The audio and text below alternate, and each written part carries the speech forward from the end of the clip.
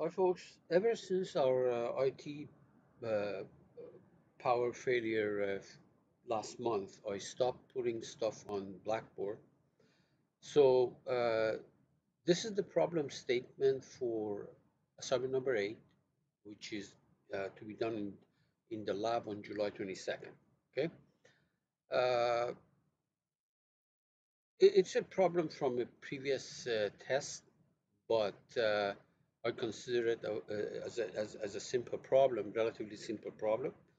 And you make your own dimensions and uh, make create this uh, this mechanism.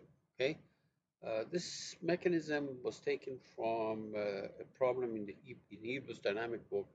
It's a very simple kinematic problem that can be solved manually. Okay, uh, however, uh, it's a good good practice for you to try to make these parts under you know under a relatively short time in a relatively short time and uh, you can ignore all the things that may be inconsequential to the kinematics of the problem okay? Uh, good luck. The solution of this has also been created and posted on uh, YouTube